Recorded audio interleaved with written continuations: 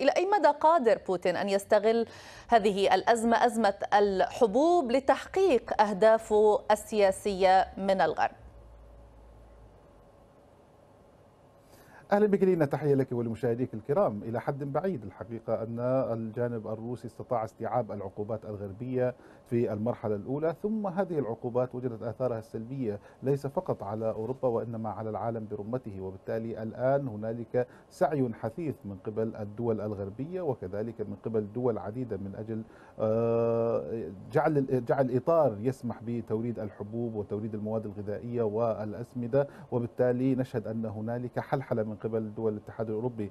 كما اطلعت لنا هنالك الآن مسودة يتم البحثها في دول الاتحاد الأوروبي من أجل تخفيف العقوبات على بعض البنوك تخفيف القيود على بعض البنوك من أجل السماح بتحويل الأموال من أجل واردات المواد الغذائية آه، بالنسبة القادمة من روسيا وأيضا القادمة من أوكرانيا. وبالتالي يمكن القول بأن هنالك إعادة نظر في العقوبات بعد أن أثبتت الأشهر الماضية بأنها لم تؤتي أكلها بالضغط على الجانب الروسي وكذلك الحقيقة كان لها آثارها السلبية على أوروبا على العالم برمته. إذا ما نظرنا إلى أسعار المواد الأساسية هنا في القارة الأوروبية ارتفعت بشكل كبير للغاية، المحروقات ارتفعت أيضا وبالتالي باعتقادي أننا نشهد الخطوة الأولى التي ربما سوف تعقبها خطوات متعددة سواء لتسهيل آه، توريد المواد الغذائية أو كذلك للطاقة. وإن كان هنالك شكوك على الأقل يعلنها الاتحاد الأوروبي إذا ما كانت واردات الغاز على وجه التحديد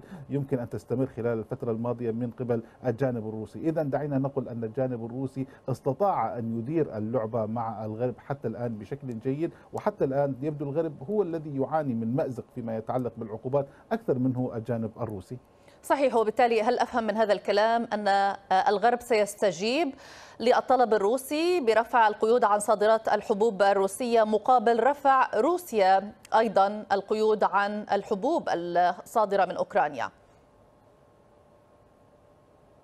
باعتقادي هذا المنطق هو الذي يحرك السياسة التركية في هذه المرة. تبدو تركيا هي التي تمثل الوسيط الآن ما بين الدول الأوروبية ما بين حتى الولايات المتحدة الأمريكية. وقد جئت على ذكر ذلك في متن الخبر بأن الولايات المتحدة الأمريكية رحبت بالجهود التركية وهذا يعني مساندة لتركيا في إطار محاولة الوساطة مع الجانب الروسي خصوصا أن هنالك علاقات جيدة نسبيا ولتركيا مصلحة بأن يكون هنالك تسهيل لواردات الأغذية الغربية من قبل الجانب الروسي. في نهاية المطاف باعتقادي أن الجميع على قناعة بأن واردات الغذاء من روسيا ومن أوكرانيا يجب أن تستمر لأن الأزمة الغذائية بالفعل على المستوى العالمي أتحدث تلوح بالأفق وهنالك ربما ننتظر مجاعات إذا ما استمر الوضع على ما هو عليه. لذلك شهدنا تحركا دوليا على ثلاث مستويات. المستوى الأول هو عن طريق الأمم المتحدة وقد تحرك الأمين العام للأمم المتحدة السيد جوتيريش من أجل تسهيل الأمور الأمور وتسهيل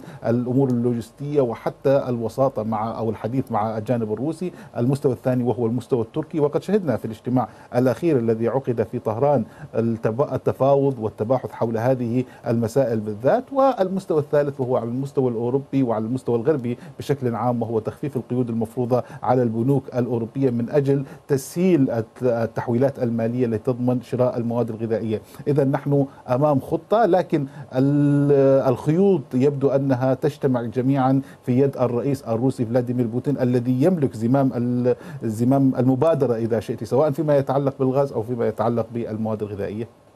طيب إلى أين يمكن أن تكون وصلت حتى هذه اللحظة الوساطة التركية وهل من أفق حل قد يطال مصير هذه الأزمة أزمة الحبوب باعتقادك؟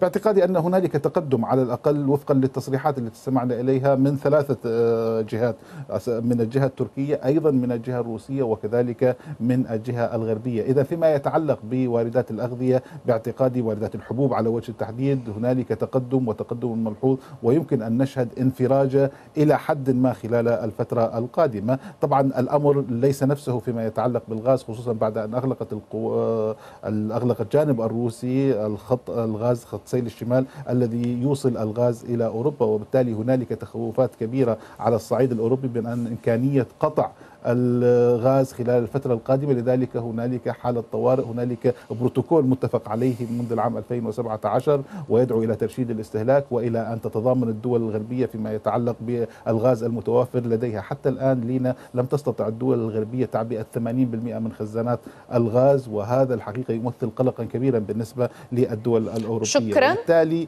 وإن كان هنالك بعض الانفراج فيما يتعلق بالمواد الغذائية ولكن في الغاز ما زال هنالك الكثير من الصعوبات.